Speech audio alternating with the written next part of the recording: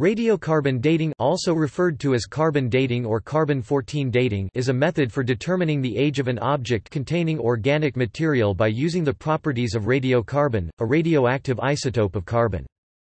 The method was developed in the late 1940s by Willard Libby, who received the Nobel Prize in Chemistry for his work in 1960. It is based on the fact that radiocarbon 14C is constantly being created in the atmosphere by the interaction of cosmic rays with atmospheric nitrogen. The resulting 14C combines with atmospheric oxygen to form radioactive carbon dioxide, which is incorporated into plants by photosynthesis. Animals then acquire 14C by eating the plants. When the animal or plant dies, it stops exchanging carbon with its environment, and from that point onwards the amount of 14C it contains begins to decrease as the 14C undergoes radioactive decay. Measuring the amount of 14C in a sample from a dead plant or animal such as a piece of wood or a fragment of bone provides information that can be used to calculate when the animal or plant died. The older a sample is, the less 14C there is to be detected, and because the half-life of 14C the period of time after which half of a given sample will have decayed is about 5,730 years, the oldest dates that can be reliably measured by this process date to around 50,000 years ago, although special preparation methods occasionally permit accurate analysis of older samples. Research has been ongoing since the 1960s to determine what the proportion of 14C in the atmosphere has been over the past 50,000 years. The resulting data, in the form of a calibration curve, is now used to convert a given measurement of radiocarbon in a sample into an estimate of the sample's calendar age. Other corrections must be made to account for the proportion of 14C in different types of organisms fractionation, and the varying levels of 14C throughout the biosphere reservoir effects.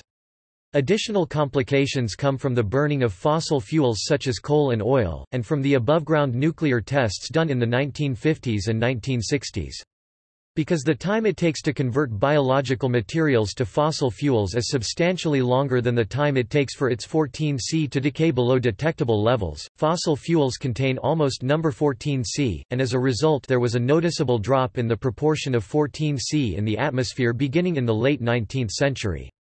Conversely, nuclear testing increased the amount of 14C in the atmosphere, which attained a maximum in about 1965 of almost twice what it had been before the testing began. Measurement of radiocarbon was originally done by beta counting devices, which counted the amount of beta radiation emitted by decaying 14C atoms in a sample. More recently, accelerator mass spectrometry has become the method of choice. It counts all the 14C atoms in the sample and not just the few that happen to decay during the measurements. It can therefore be used with much smaller samples, as small as individual plant seeds, and gives results much more quickly.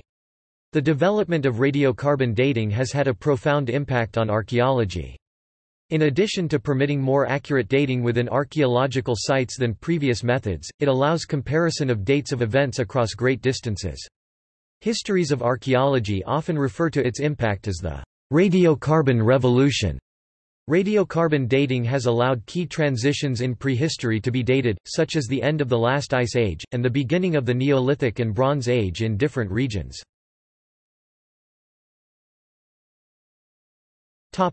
Background. History. In 1939, Martin Kamen and Samuel Rubin of the Radiation Laboratory at Berkeley began experiments to determine if any of the elements common in organic matter had isotopes with half-lives long enough to be of value in biomedical research. They synthesized 14C using the laboratory's cyclotron accelerator and soon discovered that the atom's half-life was far longer than had been previously thought. This was followed by a prediction by Serge A. Korff, then employed at the Franklin Institute in Philadelphia, that the interaction of thermal neutrons with 14N in the upper atmosphere would create 14C. It had previously been thought that 14C would be more likely to be created by deuterons interacting with 13C. At some time during World War II, Willard Libby, who was then at Berkeley, learned of Korff's research and conceived the idea that it might be possible to use radiocarbon for dating. In 1945, Libby moved to the University of Chicago where he began his work on radiocarbon dating. He published a paper in 1946 in which he proposed that the carbon in living matter might include 14C as well as non-radioactive carbon. Libby and several collaborators proceeded to experiment with methane collected from sewage works in Baltimore, and after isotopically enriching their samples they were able to demonstrate that they contained 14C. By contrast, methane created from petroleum showed no radiocarbon activity because of its age. The results were summarized in a paper in Science in 1947, in which the authors commented that their results implied it would be possible to date materials containing carbon of organic origin. Libby and James Arnold proceeded to test the radiocarbon dating theory by analyzing samples with known ages. For example, two samples taken from the tombs of two Egyptian kings, Zoser and Sneferu, independently dated to 2625 BC plus or minus 75 years, were dated by radiocarbon measurement to an average of 2800 BC plus or minus 250 years. These results were published in Science in 1949. Within 11 years of their announcement, more than 20 radiocarbon dating laboratories had been set up worldwide. In 1960, Libby was awarded the Nobel Prize in Chemistry for this work. Topic: Physical and chemical details In nature, carbon exists as two stable, non-radioactive isotopes, carbon-12 12C, and carbon-13 13C, and a radioactive isotope, carbon-14 14C, also known as radiocarbon. The half-life of 14C the time it takes for half of a given amount of 14C to decay is about 5,730 years, so its concentration in the atmosphere might be expected to reduce over thousands of years, but 14C is constantly being produced in the lower stratosphere and upper troposphere, primarily by galactic cosmic rays, and to a lesser degree by solar cosmic rays. These generate neutrons that in turn create 14C when they strike nitrogen 14 14N atoms. The following nuclear reaction is the main pathway by which 14C is created. N plus 147 N 146 C plus P where N represents a neutron and P represents a proton. Once produced, the 14C quickly combines with the oxygen in the atmosphere to form first carbon monoxide CO, and ultimately carbon dioxide CO2, 14C plus O214 CO plus O14 CO plus O14 CO2 plus H carbon dioxide produced in this way diffuses in the atmosphere, is dissolved in the ocean, and is taken up by plants via photosynthesis. Animals eat the plants, and ultimately the radiocarbon is distributed throughout the biosphere. The ratio of 14C to 12C is approximately 1.25 parts of 14C to 1012 parts of 12C. In addition, about 1% of the carbon atoms are of the stable isotope 13C. The equation for the radioactive decay of 14C is 146 C 147 N plus E minus plus nu Eb emitting a beta particle an electron, E minus and an electron antineutrino nu e. One of the neutrons in the 14C nucleus changes to a proton and the 14C nucleus reverts to the stable non-radioactive isotope 14N. Topic: Principles. During its life, a plant or animal is in equilibrium with its surroundings by exchanging carbon either with the atmosphere, or through its diet. It will therefore have the same proportion of 14C as the atmosphere, or in the case of marine animals or plants, with the ocean.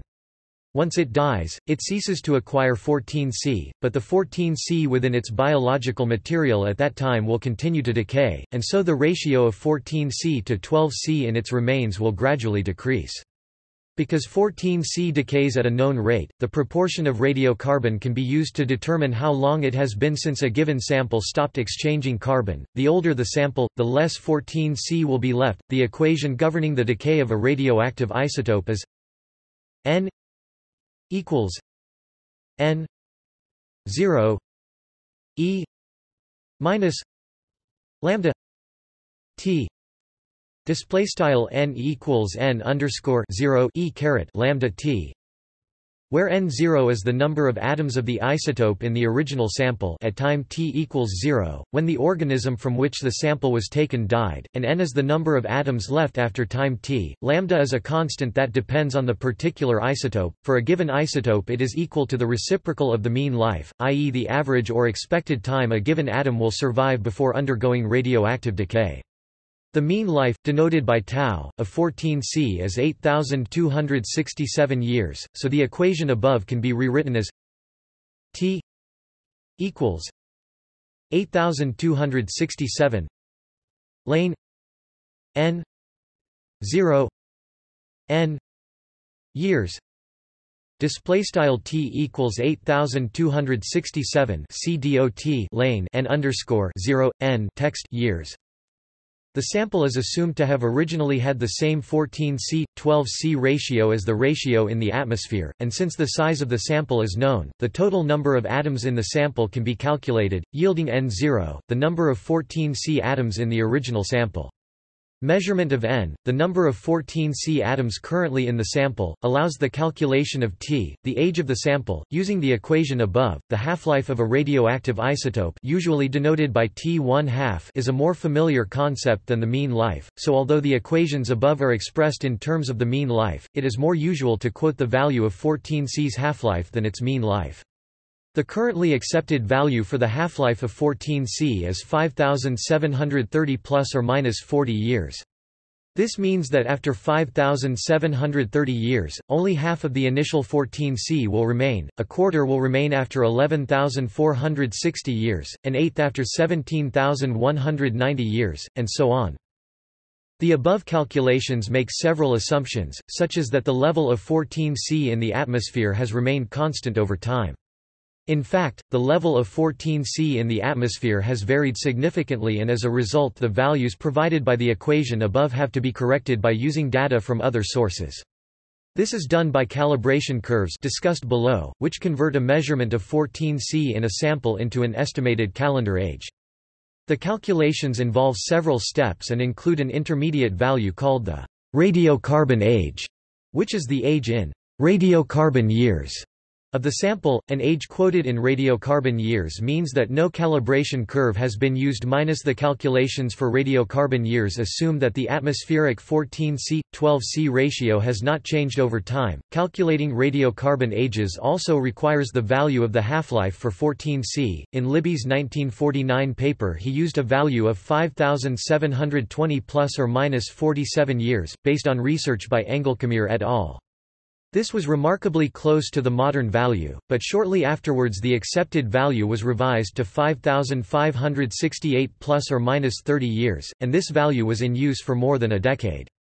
It was revised again in the early 1960s to 5,730 plus or minus 40 years, which meant that many calculated dates in papers published prior to this were incorrect the error in the half-life is about 3%. For consistency with these early papers, it was agreed at the 1962 Radiocarbon Conference in Cambridge UK to use the Libby half-life of 5,568 years.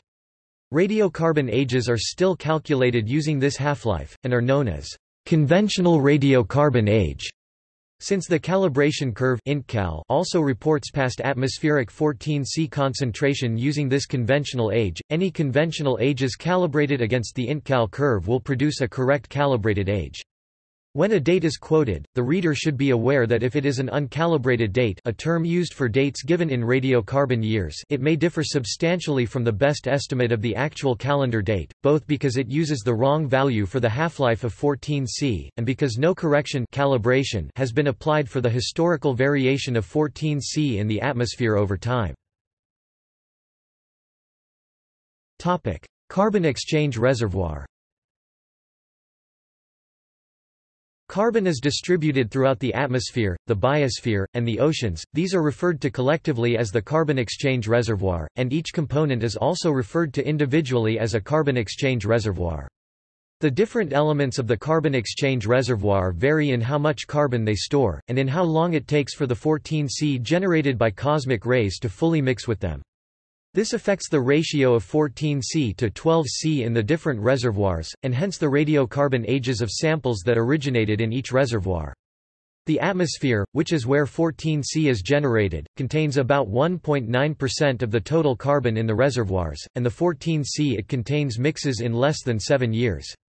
The ratio of 14C to 12C in the atmosphere is taken as the baseline for the other reservoirs. If another reservoir has a lower ratio of 14C to 12C, it indicates that the carbon is older and hence that either some of the 14C has decayed, or the reservoir is receiving carbon that is not at the atmospheric baseline.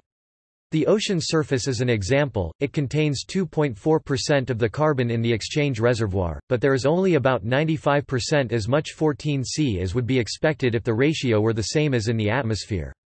The time it takes for carbon from the atmosphere to mix with the surface ocean is only a few years, but the surface waters also receive water from the deep ocean, which has more than 90% of the carbon in the reservoir. Water in the deep ocean takes about 1,000 years to circulate back through surface waters, and so the surface waters contain a combination of older water, with depleted 14C, and water recently at the surface, with 14C in equilibrium with the atmosphere. Creatures living at the ocean surface have the same 14C ratios as the water they live in, and as a result of the reduced 14C 12C ratio, the radiocarbon age of marine life is typically about 400 years. Organisms on land are in closer equilibrium with the atmosphere and have the same 14C, 12C ratio as the atmosphere. These organisms contain about 1.3% of the carbon in the reservoir. Sea organisms have a mass of less than 1% of those on land and are not shown on the diagram. Accumulated dead organic matter, of both plants and animals, exceeds the mass of the biosphere by a factor of nearly 3, and since this matter is no longer exchanging carbon with its environment, it has a 14C, 12C ratio lower than that of the biosphere. Dating considerations The variation in the 14C, 12C ratio in different parts of the carbon exchange reservoir means that a straightforward calculation of the age of a sample based on the amount of 14C it contains will often give an incorrect result. There are several other possible sources of error that need to be considered. The errors are of four general types. Variations in the 14C, 12C ratio in the atmosphere, both geographically and over time. Isotopic fractionation Variations in the 14C, 12C ratio in different parts of the reservoir. Contamination. Atmospheric variation. In the early years of using the technique, it was understood that it depended on the atmospheric 14C, 12C ratio having remained the same over the preceding few thousand years. To verify the accuracy of the method, several artifacts that were datable by other techniques were tested. The results of the testing were in reasonable agreement with the true ages of the objects. Over time, however, discrepancies began to appear between the known chronology for the oldest Egyptian dynasties and the radiocarbon dates of Egyptian artifacts. Neither the pre-existing Egyptian chronology nor the new radiocarbon dating method could be assumed to be accurate, but a third possibility was that the 14C, 12C ratio had changed over time. The question was resolved by the study of tree rings. Comparison of overlapping series of tree rings allowed the construction of a continuous sequence of tree ring data that spanned 8,000 years. Since that time the tree ring data series has been extended to 13,900 years. In the 1960s, Hans Suess was able to use the tree ring sequence to show that the dates derived from radiocarbon were consistent with the dates assigned by Egyptologists.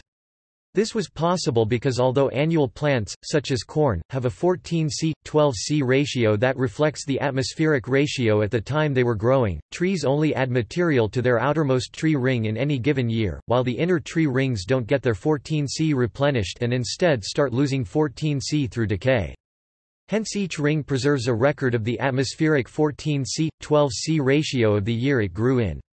Carbon dating the wood from the tree rings themselves provides the check needed on the atmospheric 14C, 12C ratio, with a sample of known date, and a measurement of the value of N the number of atoms of 14C remaining in the sample. The carbon dating equation allows the calculation of N0 the number of atoms of 14C in the sample at the time the tree ring was formed, and hence the 14C, 12C ratio in the atmosphere at that time.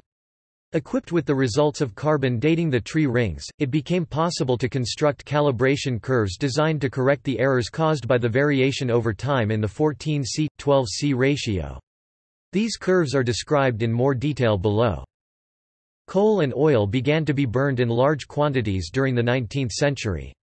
Both are sufficiently old that they contain little or no detectable 14C and, as a result, the CO2 released substantially diluted the atmospheric 14C-12C ratio. Dating an object from the early 20th century hence gives an apparent date older than the true date. For the same reason, 14C concentrations in the neighborhood of large cities are lower than the atmospheric average. This fossil fuel effect also known as the Suess effect, after Hans Suess, who first reported it in 1955 would only amount to a reduction of 0.2% in 14C activity if the additional carbon from fossil fuels were distributed throughout the carbon exchange reservoir, but because of the long delay in mixing with the deep ocean, the actual effect is a 3% reduction. A much larger effect comes from above-ground nuclear testing, which released large numbers of neutrons and created 14C. From about 1950 until 1963, when atmospheric nuclear testing was banned, it is estimated that several tons of 14C were created. If all this extra 14C had immediately been spread across the entire carbon exchange reservoir, it would have led to an increase in the 14C-12C ratio of only a few percent, but the immediate effect was to almost double the amount of 14C in the atmosphere, with the peak level occurring in 1964 for the Northern Hemisphere, and in 1966 for the Southern Hemisphere. The level has since dropped, as this bomb pulse or bomb carbon, as it is sometimes called percolates into the rest of the reservoir. Isotopic fractionation. Photosynthesis is the primary process by which carbon moves from the atmosphere into living things. In photosynthetic pathways 12C is absorbed slightly more easily than 13C, which in turn is more easily absorbed than 14C. The differential uptake of the three carbon isotopes leads to 13C, 12C and 14C, 12C ratios in plants that differ from the ratios in the atmosphere.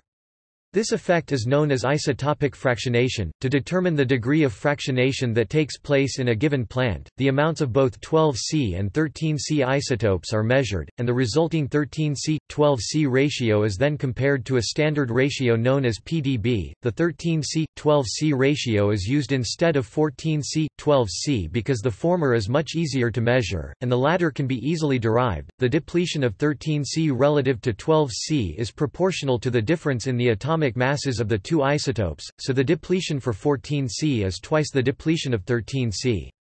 The fractionation of 13C, known as delta 13C, is calculated as follows: delta C 13 equals C 13 C 12 S A M P L E C thirteen C twelve S T A N D A R D minus one times one thousand Display style delta CE caret 13 C equals left frac left frac CE caret 13 C CE caret 12 C right underscore sample left frac CE caret 13 C CE caret 12 C right underscore standard minus 1 right times 1000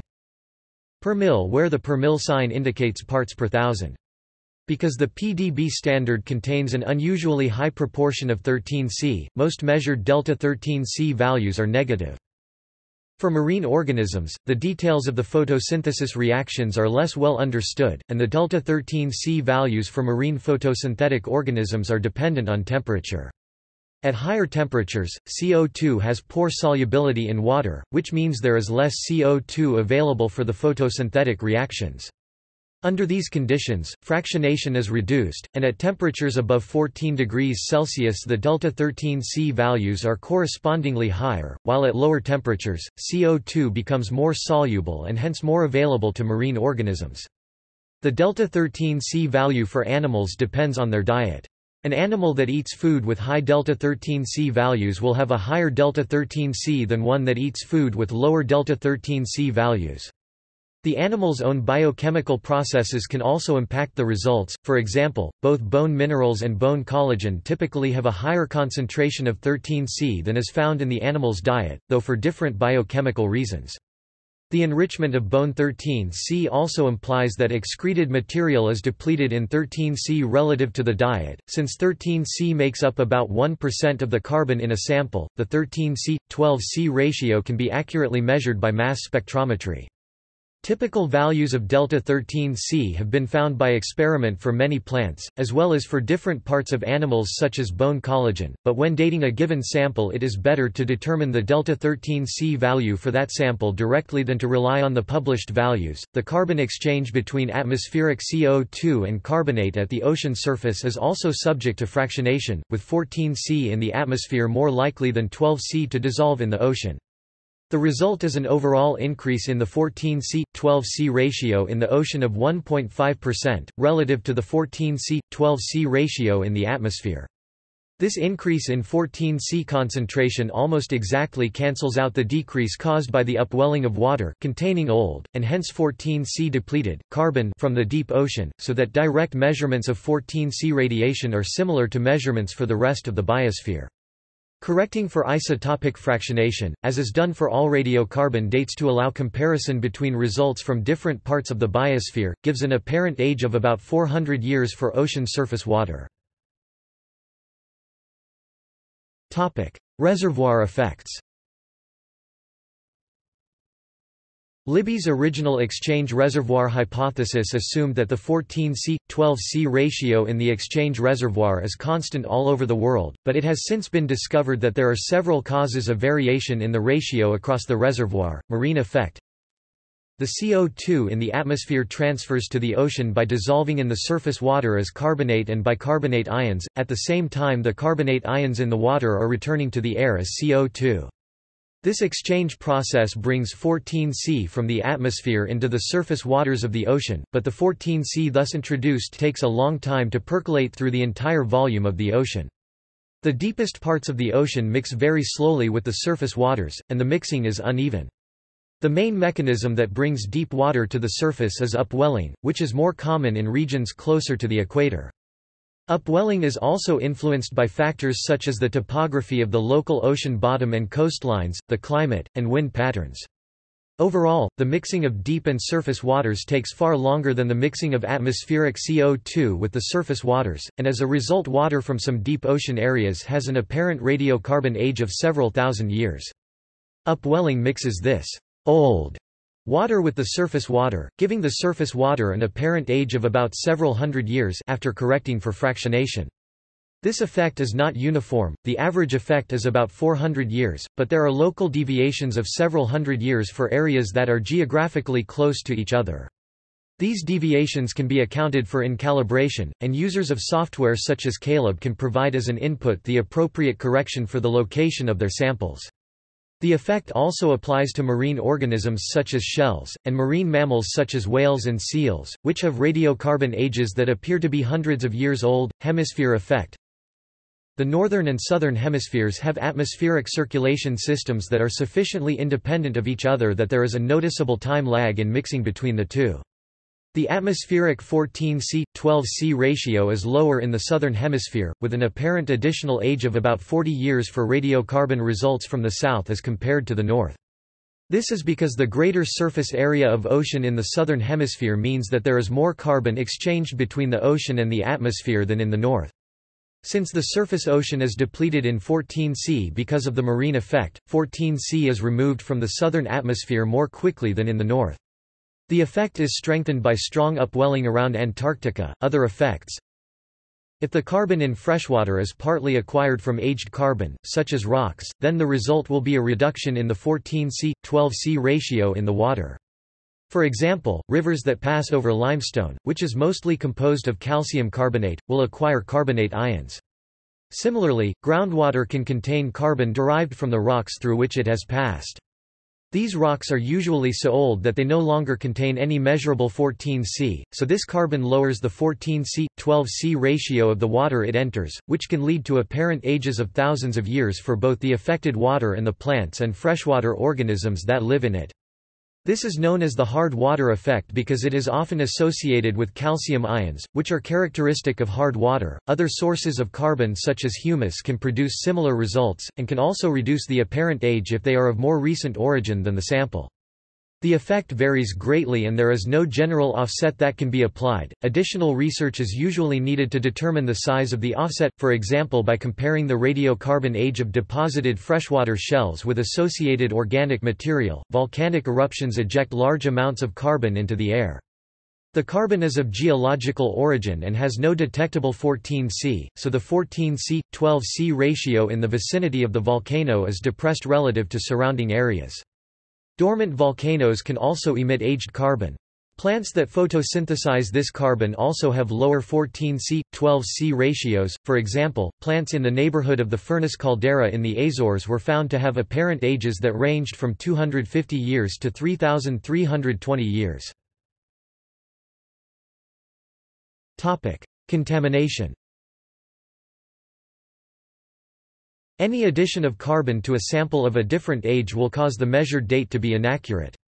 Contamination with modern carbon causes a sample to appear to be younger than it really is, the effect is greater for older samples. If a sample that is 17,000 years old is contaminated so that 1% of the sample is modern carbon, it will appear to be 600 years younger. For a sample that is 34,000 years old, the same amount of contamination would cause an error of 4,000 years.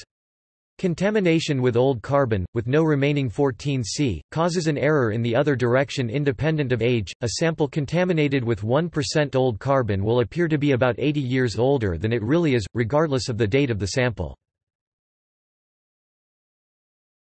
Topic: Samples. Samples for dating need to be converted into a form suitable for measuring the 14C content, this can mean conversion to gaseous, liquid, or solid form, depending on the measurement technique to be used. Before this can be done, the sample must be treated to remove any contamination and any unwanted constituents. This includes removing visible contaminants, such as rootlets that may have penetrated the sample since its burial. Alkali and acid washes can be used to remove humic acid and carbonate contamination, but care has to be taken to avoid removing the part of the sample that contains the carbon to be tested. Material considerations It is common to reduce a wood sample to just the cellulose component before testing, but since this can reduce the volume of the sample to 20% of its original size, testing of the whole wood is often performed as well. Charcoal is often tested but is likely to need treatment to remove contaminants. Unburnt bone can be tested, it is usual to date it using collagen, the protein fraction that remains after washing away the bone's structural material. Hydroxyproline, one of the constituent amino acids in bone, was once thought to be a reliable indicator as it was not known to occur except in bone, but it has since been detected in groundwater. For burnt bone, testability depends on the conditions under which the bone was burnt. If the bone was heated under reducing conditions, it and associated organic matter may have been carbonized. In this case the sample is often usable. Shells from both marine and land organisms consist almost entirely of calcium carbonate, either as aragonite or as calcite, or some mixture of the two. Calcium carbonate is very susceptible to dissolving and recrystallizing. The recrystallized material will contain carbon from the sample's environment, which may be of geological origin. If testing recrystallized shell is unavoidable, it is sometimes possible to identify the original shell material from a sequence of tests. It is also possible to test conchiolin, an organic protein found in shell, but it constitutes only 1–2% of shell material. The three major components of peat are humic acid, humins, and fulvic acid. Of these, humins give the most reliable date as they are insoluble in alkali and less likely to contain contaminants from the sample's environment. A particular difficulty with dried peat is the removal of rootlets, which are likely to be hard to distinguish from the sample material.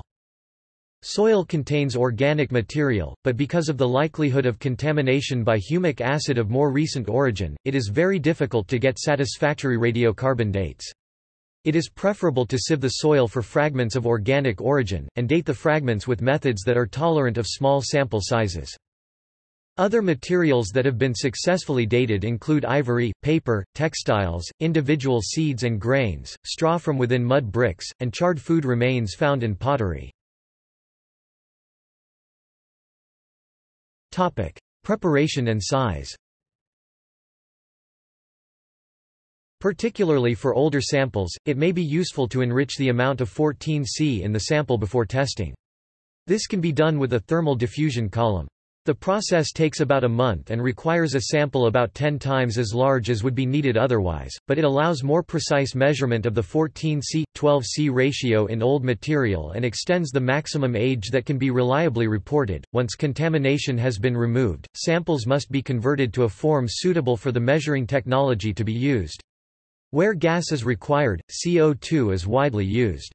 For samples to be used in liquid scintillation counters, the carbon must be in liquid form, the sample is typically converted to benzene. For accelerator mass spectrometry, solid graphite targets are the most common, although gaseous CO2 can also be used. The quantity of material needed for testing depends on the sample type and the technology being used. There are two types of testing technology, detectors that record radioactivity, known as beta counters, and accelerator mass spectrometers. For beta counters, a sample weighing at least 10 grams (0.35 ounces) is typically required. Accelerator mass spectrometry is much more sensitive, and samples containing as little as 0.5 mg of carbon can be used. Topic: Measurement and results. For decades after Libby performed the first radiocarbon dating experiments, the only way to measure the 14C in a sample was to detect the radioactive decay of individual carbon atoms. In this approach, what is measured is the activity, in number of decay events per unit mass per time period, of the sample. This method is also known as beta counting, because it is the beta particles emitted by the decaying 14C atoms that are detected. In the late 1970s an alternative approach became available, directly counting the number of 14C and 12C atoms in a given sample, via accelerator mass spectrometry, usually referred to as AMS. AMS counts the 14C-12C ratio directly, instead of the activity of the sample, but measurements of activity and 14C-12C ratio can be converted into each other exactly. For some time, beta counting methods were more accurate than AMS, but AMS is now more accurate and has become the method of choice for radiocarbon measurements. In addition to improved accuracy, AMS has two further significant advantages over beta counting, it can perform accurate testing on samples much too small for beta counting, and it is much faster, an accuracy of 1% can be achieved in minutes with AMS, which is far quicker than would be achievable with the older technology. Beta counting Libby's first detector was a Geiger counter of his own design. He converted the carbon in his sample to lamp black soot and coated the inner surface of a cylinder with it. This cylinder was inserted into the counter in such a way that the counting wire was inside the sample cylinder, in order that there should be no material between the sample and the wire. Any interposing material would have interfered with the detection of radioactivity, since the beta particles emitted by decaying 14C are so weak that half are stopped by a 0.01 mm thickness of aluminium. Libby's method was soon superseded by gas proportional counters, which were less affected by bomb carbon, the additional 14C created by nuclear weapons testing. These counters record bursts of ionization caused by the beta particles emitted by the decaying 14C atoms. The bursts are proportional to the energy of the particle, so other sources of ionization, such as background radiation, can be identified and ignored. The counters are surrounded by lead or steel shielding, to eliminate background radiation and to reduce the incidence of cosmic rays. In addition, anti-coincidence detectors are used, these record events outside the counter, and any event recorded simultaneously both inside and outside the counter is regarded as an extraneous event and ignored. The other common technology used for measuring 14C activity is liquid scintillation counting, which was invented in 1950, but which had to wait until the early 1960s, when efficient methods of benzene synthesis were developed, to become competitive with gas counting. After 1970, liquid counters became the more common technology technology choice for newly constructed dating laboratories. The counters work by detecting flashes of light caused by the beta particles emitted by 14C as they interact with a fluorescing agent added to the benzene. Like gas counters, liquid scintillation counters require shielding and anticoincidence counters. For both the gas proportional counter and liquid scintillation counter, what is measured is the number of beta particles detected in a given time period. Since the mass of the sample is known, this can be converted to a standard measure of activity in units of either counts per minute per gram of carbon (cpm per gram C) or becquerels per kilogram (becquerel per kilogram C) in SI units. Each measuring device is also used to measure the activity of a blank sample, a sample prepared from carbon old enough to have no activity. This provides a value for the background radiation, which must be subtracted from the measured activity of the sample being dated to get the activity attributable solely to that sample's 14C. In addition, a sample with a standard activity is measured, to provide a baseline for comparison.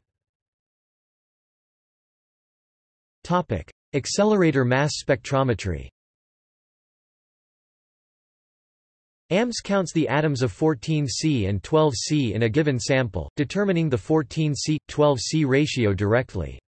The sample, often in the form of graphite, is made to emit C- ions carbon atoms with a single negative charge, which are injected into an accelerator. The ions are accelerated and passed through a stripper, which removes several electrons so that the ions emerge with a positive charge. The ions, which may have from 1 to 4 positive charges C to C4 depending on the accelerator design, are then passed through a magnet that curves their path. The heavier ions are curved less than the lighter ones, so the different isotopes emerge as separate streams of ions. A particle detector then records the number of ions detected in the 14C stream, but since the volume of 12C and 13C, needed for calibration is too great for individual ion detection, counts are determined by measuring the electric current created in a Faraday cup. The large positive charge induced by the stripper forces molecules such as 1,3-CH, which has a weight close enough to 14C to interfere with the measurements, to dissociate, so they are not detected. Most AMS machines also measure the sample's delta 13C, for use in calculating the sample's radiocarbon age. The use of AMS, as opposed to simpler forms of mass spectrometry, is necessary because of the need to distinguish the carbon isotopes from other atoms or molecules that are very close in mass, such as 14N and 13CH. As with beta counting, both blank samples and standard samples are used.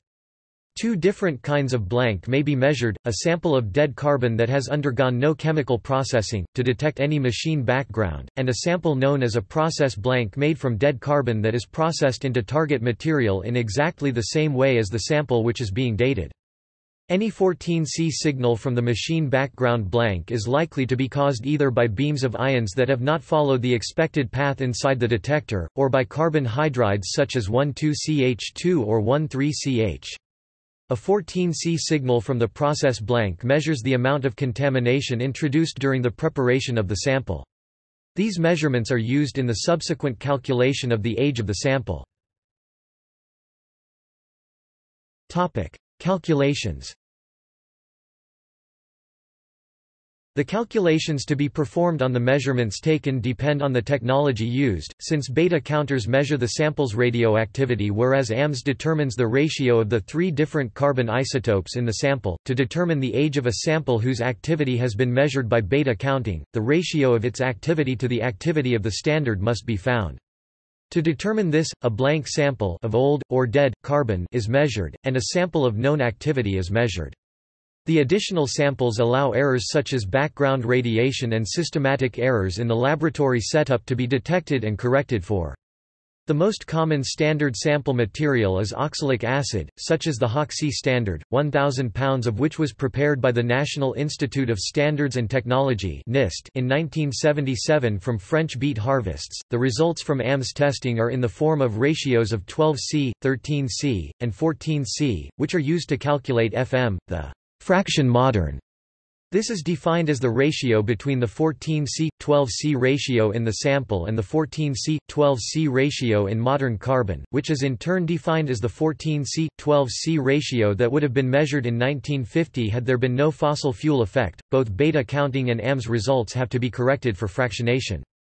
This is necessary because different materials of the same age, which because of fractionation have naturally different 14C, 12C ratios, will appear to be of different ages because the 14C, 12C ratio is taken as the indicator of age.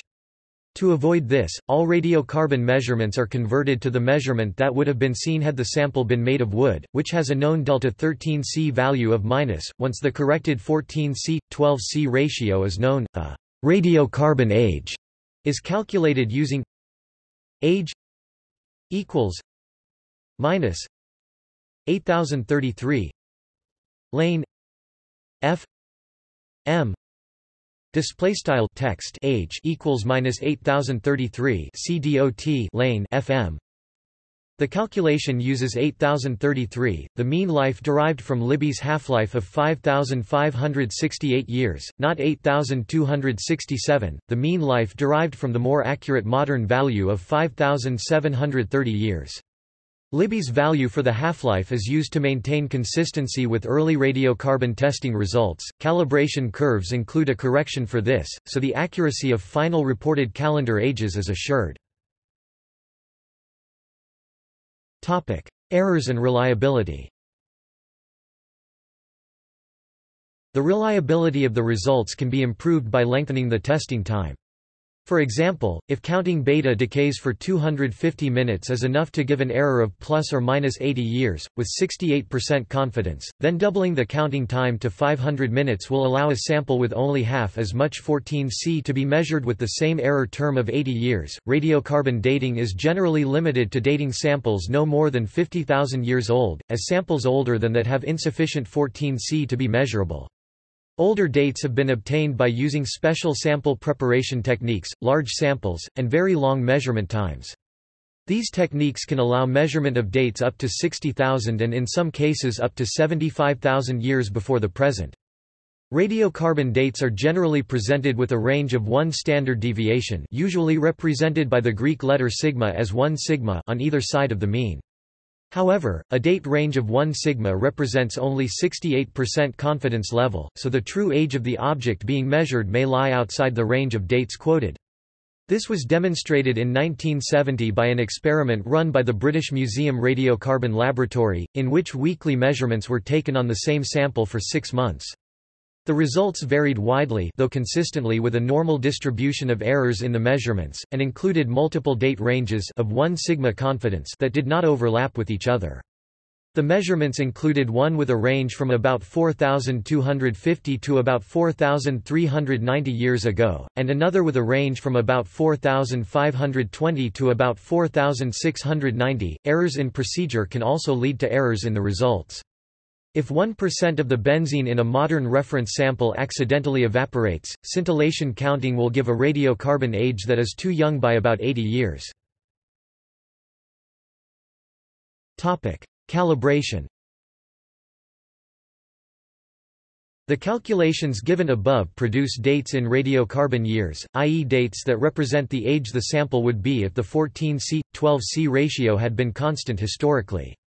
Although Libby had pointed out as early as 1955 the possibility that this assumption was incorrect, it was not until discrepancies began to accumulate between measured ages and known historical dates for artifacts that it became clear that a correction would need to be applied to radiocarbon ages to obtain calendar dates. To produce a curve that can be used to relate calendar years to radiocarbon years, a sequence of securely dated samples is needed which can be tested to determine their radiocarbon age. The study of tree rings led to the first such sequence. Individual pieces of wood show characteristic sequences of rings that vary in thickness because of environmental factors such as the amount of rainfall in a given year. These factors affect all trees in an area, so examining tree ring sequences from old wood allows the identification of overlapping sequences. In this way, an uninterrupted sequence of tree rings can be extended far into the past. The first such published sequence, based on bristlecone pine tree rings, was created by Wesley Ferguson. Hans Suess used this data to publish the first calibration curve for radiocarbon dating in 1967. The curve showed two types of variation from the straight line, a long-term fluctuation with a period of about 9,000 years, and a shorter-term variation, often referred to as wiggles, with a period of decades. Suess said he drew the line showing the wiggles by cosmic schwung, by which he meant that the variations were caused by extraterrestrial forces. It was unclear for some time whether the wiggles were real or not, but they are now well established. These short-term fluctuations in the calibration curve are now known as de Vries effects, after Hessel de Vries. A calibration curve is used by taking the radiocarbon date reported by a laboratory, and reading across from that date on the vertical axis of the graph. The point where this horizontal line intersects the curve will give the calendar age of the sample on the horizontal axis. This is the reverse of the way the curve is constructed. A point on the graph is derived from a sample of known age, such as a tree ring. When it is tested, the resulting radiocarbon age gives a data point for the graph. Over the next 30 years, many calibration curves were published using a variety of methods and statistical approaches. These were superseded by the INTCAL series of curves, beginning with INTCAL 98, published in 1998, and updated in 2004, 2009, and 2013. The improvements to these curves are based on new data gathered from tree rings, varves, coral, plant macrofossils, speleothems, and foraminifera. The INTCAL13 data includes separate curves for the northern and southern hemispheres, as they differ systematically because of the hemisphere effect. The southern curve SHCAL13 is based on independent data where possible, and derived from the northern curve by adding the average offset for the southern hemisphere where no direct data was available. There is also a separate marine calibration curve, MARINE13. For a set of samples forming a sequence with a known separation in time, these samples form a subset of the calibration curve. The sequence can be compared to the calibration curve and the best match to the sequence established. This wiggle matching technique can lead to more precise dating than is possible with individual radiocarbon dates. Wiggle matching can be used in places where there is a plateau on the calibration curve, and hence can provide a much more accurate date than the intercept or probability methods are able to produce. The technique is not restricted to tree rings, for example, a stratified tephra sequence in New Zealand, known to predate human colonization of the islands, has been dated to 1314 AD plus or minus 12 years by wiggle matching. The wiggles also mean that reading a date from a calibration curve can give more than one answer. This occurs when the curve wiggles up and down enough that the radiocarbon age intercepts the curve in more than one place, which may lead to a radiocarbon result being reported as two separate age ranges, corresponding to the two parts of the curve that the radiocarbon age intercepted. Bayesian statistical techniques can be applied when there are several radiocarbon dates to be calibrated. For example, if a series of radiocarbon dates is taken from different levels in a stratigraphic sequence, Bayesian analysis can be used to evaluate dates which are outliers, and can calculate improved probability distributions, based on the prior information that the sequence should be ordered in time. When Bayesian analysis was introduced, its use was limited by the need to use mainframe computers to perform the calculations, but the technique has since been implemented on programs available for personal computers, such as Oxcal. Topic reporting dates Several formats for citing radiocarbon results have been used since the first samples were dated. As of 2014, the standard format required by the journal Radiocarbon is as follows. Uncalibrated dates should be reported as plus or minus BP, where identifies the laboratory that tested the sample, and the sample ID is the laboratory's determination of the age of the sample. In radiocarbon years is the laboratory's estimate of the error in the age at 1 sigma confidence. BP stands for before present, referring to a reference date of 1950, so that 500 BP means the year 1450 AD for example, the uncalibrated date UTC-2020 to 3510 plus or minus 60 BP indicates that the sample was tested by the Utrecht van der Graaff Laboratorium, where it has a sample number of 2020, and that the uncalibrated age is 3510 years before present, plus or minus 60 years. Related forms are sometimes used, for example, 10 Ka BP means 10,000 radiocarbon years before present i.e. 8050 BC, and 14 C year BP might be used to distinguish the uncalibrated date from a date derived from another dating method such as thermoluminescence. Calibrated 14 C dates are frequently reported as Cal BP, Cal BC, or Cal AD, again with BP referring to the year 1950 as the zero date. Radiocarbon gives two options for reporting calibrated dates. A common format is cal, where, is the range of dates corresponding to the given confidence level indicates the confidence level for the given date range, for example, cal 1220 to 1281 AD 1 sigma means a calibrated date for which the true date lies between 1220 AD and 1281 AD, with the confidence level given as 1 sigma, or 1 standard deviation. Calibrated dates can also be expressed as BP instead of using BC and AD. The curve used to calibrate the results should be the latest available INTCAL curve. Calibrated dates should also identify any programs, such as Oxcal, used to perform the calibration. In addition, an article in Radiocarbon in 2014 about radiocarbon date reporting conventions recommends that information should be provided about sample treatment, including the sample material, pretreatment methods, and quality control measurements, that the citation to the software used for calibration should specify the version number and any options or models used, and that the calibrated date should be given with the associated probabilities for each range. Topic use in archaeology Topic Interpretation A key concept in interpreting radiocarbon dates is archaeological association. What is the true relationship between two or more objects at an archaeological site? It frequently happens that a sample for radiocarbon dating can be taken directly from the object of interest, but there are also many cases where this is not possible. Metal grave goods, for example, cannot be radiocarbon dated, but they may be found in a grave with a coffin, charcoal, or other material which can be assumed to have been deposited at the same time. In these cases a date for the coffin or charcoal is indicative of the date of deposition of the grave goods, because of the direct functional relationship between the two. There are also cases where there is no functional relationship, but the association is reasonably strong. For example, a layer of charcoal in a rubbish pit provides a date which has a relationship to the rubbish pit. Contamination is of particular concern when dating very old material obtained from archaeological excavations and great care is needed in the specimen selection and preparation. In 2014, Thomas Higham and co-workers suggested that many of the dates published for Neanderthal artifacts are too recent because of contamination by young carbon. As a tree grows, only the outermost tree ring exchanges carbon with its environment, so the age measured for a wood sample depends on where the sample is taken from. This means that radiocarbon dates on wood samples can be older than the date at which the tree was felled. In addition, if a piece of wood is used for multiple purposes, there may be a significant delay between the felling of the tree and the final use in the context in which it is found. This is often referred to as the old wood problem. One example is the Bronze Age trackway at Withy Bed Copse, in England. The trackway was built from wood that had clearly been worked for other purposes before being reused in the trackway. Another example is driftwood, which may be used as construction material. It is not always possible to recognize reuse. Other materials can present the same problem, for example, bitumen is known to have been used by some Neolithic communities to waterproof baskets. The bitumen's radiocarbon age will be greater than is measurable by the laboratory, regardless of the actual age of the context, so testing the basket material will give a misleading age if care is not taken.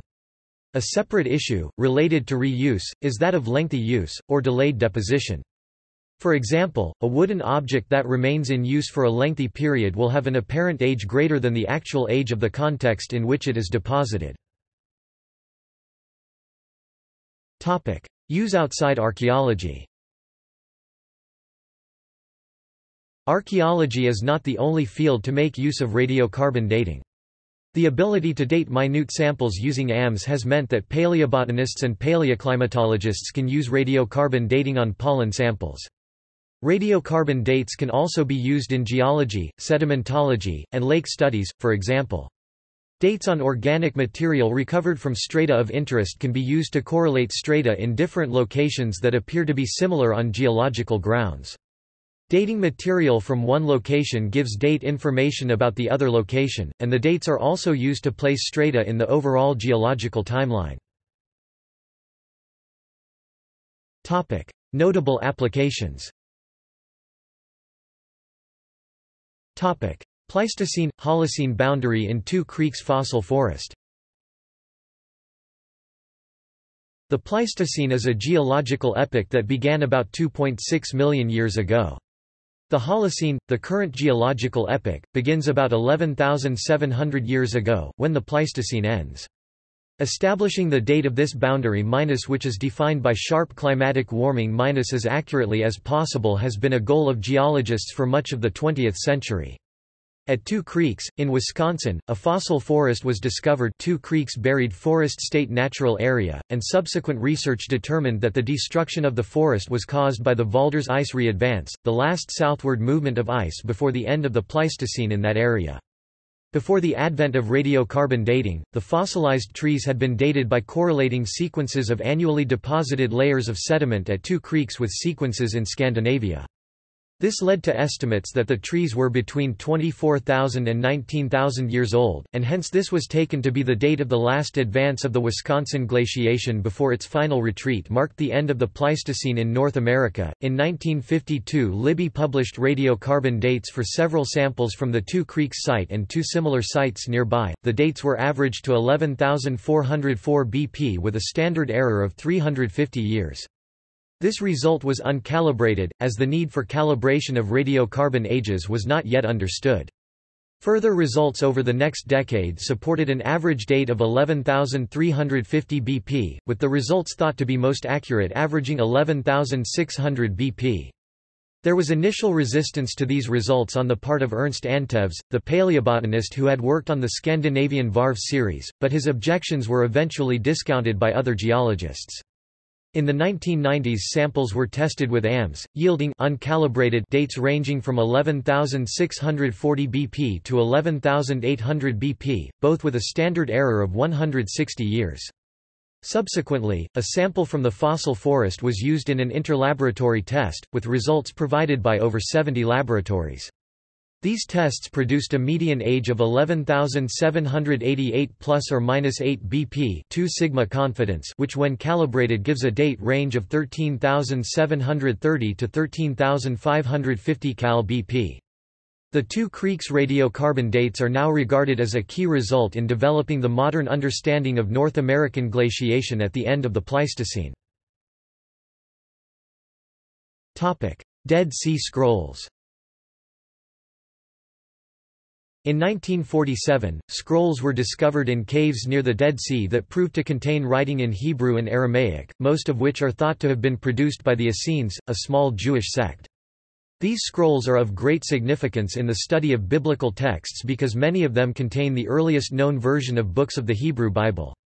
A sample of the linen wrapping from one of these scrolls, the Great Isaiah Scroll, was included in a 1955 analysis by Libby, with an estimated age of 1,917 plus or minus 200 years.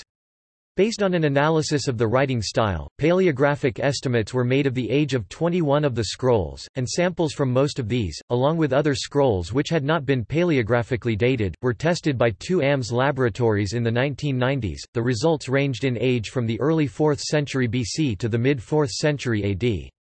In all but two cases the scrolls were determined to be within 100 years of the paleographically determined age. The Isaiah scroll was included in the testing and was found to have two possible date ranges at a 2 sigma confidence level. Because of the shape of the calibration curve at that point, there is a 15% chance that it dates from 355 to 295 BC, and an 84% chance that it dates from 210 to 45 BC. Subsequently, these dates were criticized on the grounds that before the scrolls were tested, they had been treated with modern castor oil in order to make the writing easier to read. It was argued that failure to to remove the castor oil sufficiently would have caused the dates to be too young. Multiple papers have been published both supporting and opposing the criticism. Impact Soon after the publication of Libby's 1949 paper in Science, universities around the world began establishing radiocarbon dating laboratories, and by the end of the 1950s there were more than 20 active 14C research laboratories. It quickly became apparent that the principles of radiocarbon dating were valid, despite certain discrepancies, the causes of which then remained unknown. The development of radiocarbon dating has had a profound impact on archaeology, often described as the radiocarbon revolution. In the words of anthropologist R. E. Taylor, 14C data made a world prehistory possible by contributing a time scale that transcends local, regional and continental boundaries. It provides more accurate dating within sites than previous methods, which usually derived either from stratigraphy or from typologies e.g. of stone tools or pottery. It also allows comparison and synchronization of events across great distances. The advent of radiocarbon dating may even have led to better field methods in archaeology, since better data recording leads to firmer association of objects with the samples to be tested. These improved field methods were sometimes motivated by attempts to prove that a 14C date was incorrect. Taylor also suggests that the availability of definite date information freed archaeologists from the need to focus so much of their energy on determining the dates of their finds, and led to an expansion of the questions archaeologists were willing to research. For example, from the 1970s questions about the evolution of human behavior were much more frequently seen in archaeology. The dating framework provided by radiocarbon led to a change in the prevailing view of how innovations spread through prehistoric Europe. Researchers had previously thought that many ideas spread by diffusion through the continent, or by invasions of peoples bringing new cultural ideas with them. As radiocarbon dates began to prove these ideas wrong in many instances, it became apparent that these innovations must sometimes have arisen locally. This has been described as a second radiocarbon revolution.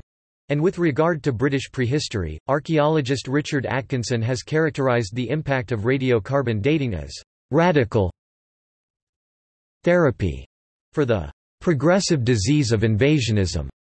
More broadly, the success of radiocarbon dating stimulated interest in analytical and statistical approaches to archaeological data. Taylor has also described the impact of AMS, and the ability to obtain accurate measurements from very small samples, as ushering in a third radiocarbon revolution. Occasionally, radiocarbon dating techniques date an object of popular interest, for example the Shroud of Turin, a piece of linen cloth thought by some to bear an image of Jesus Christ after his crucifixion. Three separate laboratories dated samples of linen from the shroud in 1988. The results pointed to 14th century origins, raising doubts about the shroud's authenticity as an alleged 1st century relic. Researchers have studied other radioactive isotopes created by cosmic rays to determine if they could also be used to assist in dating objects of archaeological interest. Such isotopes include 3 He, 10 Be, 21 Ne, 26 Al, and 36 Cl. With the development of AMS in the 1980s it became possible to measure these isotopes precisely enough for them to be the basis of useful dating techniques, which have been primarily applied to dating rocks. Naturally occurring radioactive isotopes can also form the basis of dating methods, as with potassium-argon dating, argon-argon dating, and uranium series dating.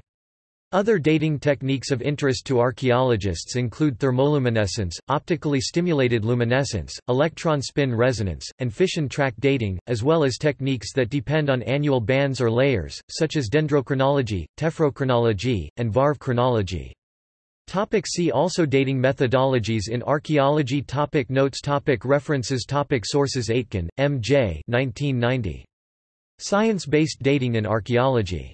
London, Longman. ISBN 978-0-582-49309-4. Aitken, Martin J. 2003. Radiocarbon Dating. In Ellis, Linda. Archaeological Method and Theory. New York, Garland Publishing. pp. 505–508. Bianchi, Thomas S., Canuel, Elizabeth A. 2011. Chemical Markers in Aquatic Ecosystems. Princeton, Princeton University Press. ISBN 978-0-691-13414-7. Bousman, C. Britt, Vierra, Bradley J. 2012. Chronology, Environmental Setting, and Views of the Terminal Pleistocene and Early Holocene Cultural Transitions in North America.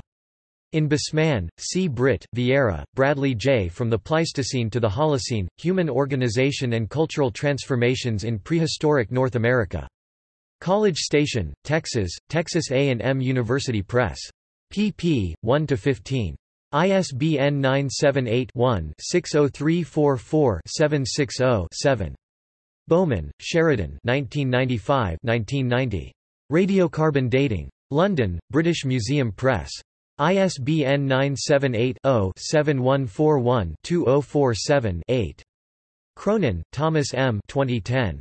Paleoclimates, Understanding Climate Change Past and Present.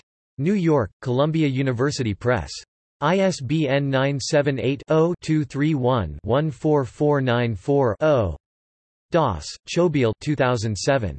Fundamentals of Contemporary Mass Spectrometry. Hoboken, New Jersey, John Wiley & Sons. ISBN 978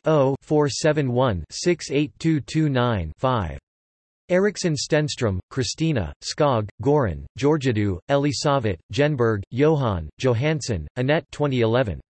A Guide to Radiocarbon Units and Calculations. Lund, Lund University. Ferronsky, V. I., Polyakov, V. A. 2012. Isotopes of the Earth's hydrosphere. New York, Springer. ISBN 978-94-007-2855-4. Killick, David 2014. Using Evidence from Natural Sciences in Archaeology. In Chapman, Robert, Alison, Wylie. Material Evidence, Learning from Archaeological Practice. Abingdon, UK, Routledge. pp. 159–172. ISBN 978-0-415-83745-3. L'Annunziata, Michael F. 2007. Radioactivity, Introduction and History. Amsterdam, Elsevier. ISBN 978-0-444-52715-8. L'Annunziata, Michael F., Kessler, Michael J. 2012. Liquid Scintillation Analysis, Principles and Practice. In L'Annunziata, Michael F. Handbook of Radioactivity Analysis 3rd ed. Oxford, Academic Press pp. 423–573. Doi 10.1016 b 978-0124366603-950010-7 ISBN 978-0-12-384873-4. Libby, Willard F. 1965–1952. Radiocarbon Dating 2nd 1955 ed. Chicago, Phoenix.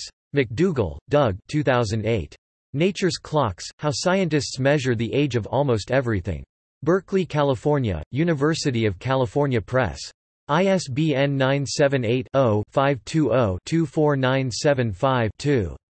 Malainey, Mary E. 2010. A Consumer's Guide to Archaeological Science. New York, Springer. ISBN 978 one 4419 5704 7 Maslin, Mark A., Swann, George E. A. 2006. Isotopes in Marine Sediments. In Leng, Melanie J. Isotopes in Paleoenvironmental Research. Dordrecht, Springer. pp. 227–290. doi 10.1007 1 4020 2504 1 06. ISBN 978 one 4020 2503 7. Mook, W. G., Waterbolk, H. T. 1985. Handbooks for Archaeologists, No. 3, Radiocarbon Dating. Strasbourg, European Science Foundation. ISBN 978-2-903148-44-7. Post, Wilfred M. 2001. Carbon Cycle. In Goudie, Andrew, Cuff, David J. Encyclopedia of Global Change, Environmental Change and Human Society, Volume 1. Oxford, Oxford University Press. pp. 127–130. ISBN 978-0-19-514518-2. Renfrew, Colin 2014. Foreword. In Taylor, R. E., Bar Yosef, Ofer. Radiocarbon Dating. Walnut Creek, California, Left Coast Press. pp. 12–14. ISBN 978-1-59874-590-0. Schoeninger, Margaret J. 2010. Diet Reconstruction and Ecology Using Stable Isotope Ratios. In Larsen, Clark Spencer. A Companion to Biological Anthropology. Oxford, Blackwell. pp. 445–464 doi 10.1002/9781444320039.ch 25 ISBN 978-1-4051-8900-2. Seiler, Jan 2004. Application of Environmental Radionuclides in Radiochronology, Radiocarbon. In Tykva, Richard, Berg, Dieter. Man-made and natural radioactivity in environmental pollution and radiochronology. Dordrecht, Kluwer Academic Publishers. pp. 150–179. ISBN 978-1-4020-1860-2. Suess, H. E. 1970. Bristlecone Pine Calibration of the Radiocarbon Time Scale 5200 BC to the Present. In Olsson, Ingrid U. Radiocarbon Variations and Absolute Chronology. New York, John Wiley & Sons. pp. 303–311. Taylor, R. E. 1987. Radiocarbon Dating. London, Academic Press. ISBN 978-0-12-433663-6. Taylor, R. E. 1997. Radiocarbon Dating. In Taylor, R. E., Aitken, Martin J. Chronometric Dating in Archaeology. New York, Plenum Press. pp. 65–97. ISBN 978-0-306-45715-9. Taylor, R. E., Bar Yosef, Ofer 2014. Radiocarbon Dating 2nd ed. Walnut Creek, California, Left Coast Press. ISBN 978-1-59874-590-0. Terasmae, J. 1984. Radiocarbon Dating, Some Problems and Potential Developments. In Mahaney, W. C. Quaternary Dating Methods. Amsterdam, Elsevier. pp. 1–15. ISBN 978-0-444-42392-4. Theodorson, Paul Measurement of weak radioactivity. Singapore, World Scientific Publishing. ISBN 978-9810223151. Trumbore, Susan E. 1996. Applications of Accelerator Mass Spectrometry to Soil Science. In Boutton, Thomas W., Yamasaki, Shin Ichi. Mass Spectrometry of Soils. New York, Marcel Dekker. pp. 311–340. ISBN 978-0-8247-9699-0. Tsipenyuk, Yuri M. 1997. Nuclear Methods in Science and Technology. Bristol, UK, Institute of Physics Publishing. ISBN 978-0750304221. Tuniz, C., Zoppi, U., Barbetti, M. 2004. Radionuclide Dating in Archaeology by Accelerator Mass Spectrometry. In Martini, M., Milazzo, M., Piacentini, M. Physics Methods in Archaeometry. Amsterdam, IOS Press. pp. 385–405. ISBN 978-1-58603-424-5. Walker, Mike 2005. Quaternary Dating Methods PDF. Chichester, John Wiley & Sons. ISBN 978-0-470-86927-7. Warneck, Peter 2000. Chemistry of the Natural Atmosphere. London, Academic Press. ISBN 978-0-12-735632-7. Wiebert, Anders 1995. Development of the Lund-AMS system and the evaluation of a new AMS detection technique. Lund, University of Lund. External links Radon – database for European 14C dates